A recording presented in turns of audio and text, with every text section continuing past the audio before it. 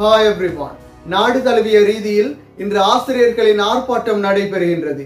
பல கோரிக்கைகளை முன்வைத்து இந்த ஆர்ப்பாட்டங்கள் நடைபெறுகின்றது. இலங்கையின் பல பாகங்களிலும் இன்று ஆசிரியர்களின் ஆர்ப்பாட்டம் நடைபெறும் நிலையில் இந்த வீடியோ காட்சிகளில் கெக்கிராவில் நடைபெற்ற ஆசிரியர்களின் ஆர்ப்பாட்டங்களை பார்க்கலாம். மாணவர்களின் இலவச கல்வியை உறுதி செய்யுமாறும் ஆசிரியர்களின் சம்பள முரண்பாட்டை நீக்குமாறும் கோரியே இந்த ஆர்ப்பாட்டம் நடைபெறுகின்றது.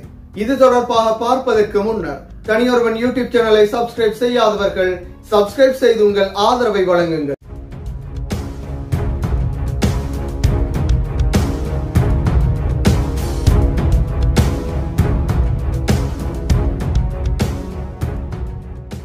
நாடு தழுவிய ரீதியிலே ஒன்றிணைந்த ஆசிரியர்களின் ஆசிரியர் சங்கங்களின் ஆர்ப்பாட்டம் இன்று பல பகுதிகளிலும் நடைபெற்றது. தமது சம்பள முரண்பாட்டை நீக்குமாறும் வழங்குவதாக கூறிய மூன்றில் இரண்டு பங்கு சம்பளத்தை வழங்குமாறும் மாணவர்களின் இலவச கல்வி உறுதி செய்யுமாறும் மாணவர்களுக்கான கற்றல் உபகரணங்களை குறைந்த விலையில் வழங்குமாறும் வாழ்க்கை செலவு அதிகரித்தமைக்கு எதிராகவுமே இந்த ஆர்ப்பாட்டம் நடைபெற்றது.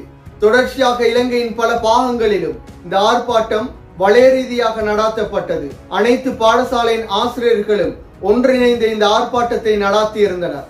இந்த ஆர்ப்பாட்டத்தில் ஒவ்வொரு பிரதேசத்திலும் பல ஆசிரியர்கள் கலந்து கொண்டனர். அதில் கெக்கிராவில் நடைபெற்ற ஆசிரியர்களின் ஆர்ப்பாட்ட வீடியோ காட்சிகளை இதில் பார்க்கலாம். தொடர்ச்சியாக பல பகுதிகளிலும் ஆசிரியர்களின் உரிமைக்காக இந்த ஆர்ப்பாட்டம் பாடசாலை நிறைவடைந்ததன் பின்னர் இரண்டு மணி அளவிலே ஒவ்வொரு வளையங்களிலும் நடாத்தப்பட்டது. இதன் அடுத்த கட்டமாக எதிர்வரும் இருபத்தி ஆறாம் திகதி மிகப்பெரிய ஆர்ப்பாட்டம் ஒன்றும் நாடளாவிய ரீதியில் அனைத்து ஆசிரியர் சங்கங்கள் ஒன்றிணைந்து அனைத்து ஆசிரியர்களும் ஒன்றிணைந்து கொழும்பிலே நடாத்தப்படும் எனவும் கூறப்பட்டுள்ளது. சுகையின விடுமுறையுடன் அந்த ஆர்ப்பாட்டம் மிகப்பெரிய அளவிலே கொழும்பில் நடாத்தப்படும் என கூறப்பட்டுள்ளது. எனவே ஆசிரியர்களின் உரிமைக்காகவும் மாணவர்களின் உரிமைக்காகவும் தொடர்ச்சியாக ஆசிரியர் சங்கங்கள் போராடி வருகின்றது. அதன் ஒரு கட்டமாகவே இன்றைய ஆர்ப்பாட்டங்களும் நடைபெற்றது. என்றாலும் அவர்களின் சம்பள முரண்பாடுகள் நீக்கப்பட்டு மூன்றில் இரண்டு பங்கு சம்பளங்கள் வழங்கப்படுமா?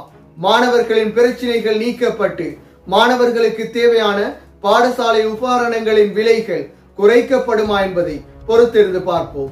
மீண்டும் ஒரு வீடியோ பதிவில் சந்திக்கும் வரை தனியொருவன் யூடியூப் சேனலை சப்ஸ்கிரைப் செய்யாதவர்கள் சப்ஸ்கிரைப் செய்து உங்கள் ஆதரவை வழங்குங்கள்.